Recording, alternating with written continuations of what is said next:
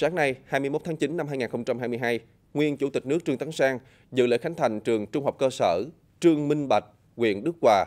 Cùng dự có Bí thư tỉnh ủy Nguyễn Văn Được, Chủ tịch Ủy ban nhân dân tỉnh Nguyễn Văn Úc, gia đình bác sĩ Trương Minh Tuyết, Trần Đình Chiến.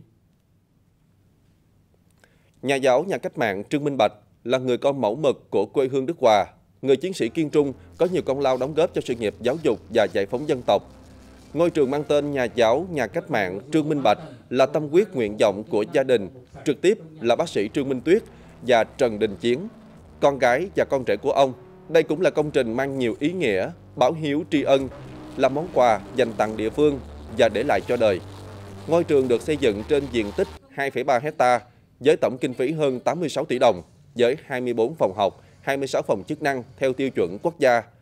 Dịp này, Chủ tịch Ủy ban Nhân dân tỉnh trao tặng bằng khen cho gia đình bác sĩ Trương Minh Tuyết, Trần Đình Chiến vì đã có nhiều đóng góp trong công tác an sinh xã hội tại địa phương.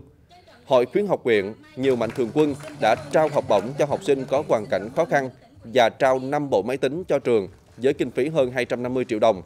Nguyên Chủ tịch nước Trương Tấn Sang cùng gia đình bác sĩ Trương Minh Tuyết, Trần Đình Chiến trồng cây lưu niệm tại trường.